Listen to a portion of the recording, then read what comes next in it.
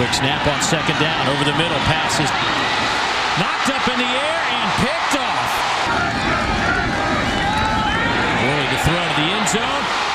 Caught. Touchdown. Little pump fake. Going to the corner of the end zone. Looking for Smith. Touchdown, Tennessee. On the near side. Turns up in the slot as Worley will throw. And it's picked off.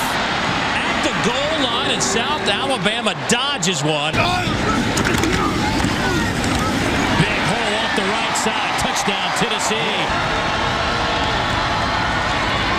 Touchdown. Chris Denham. They'll run it. Nice cutback by Denham. Denham runs into the umpire in the middle of the field and still picks up the first down. Hit as he throws. Picked off in the end zone. They hold on to win 31-24.